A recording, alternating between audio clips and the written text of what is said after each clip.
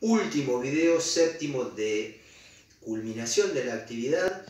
Recuerden que luego de trotar tenemos que elongar, ya lo hemos hecho en el patio de la escuela. Ustedes en las clases que hemos tenido han visto cómo trabajamos cada vez que hacemos algo para recuperarnos.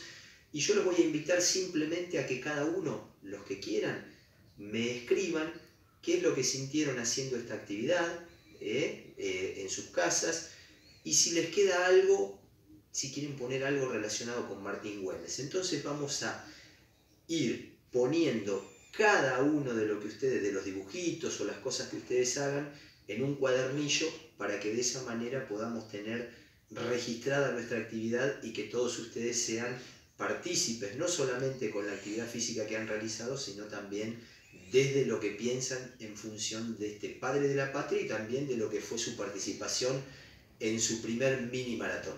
Un abrazo grande, cuídense mucho, los quiero mucho y nos vemos en la próxima.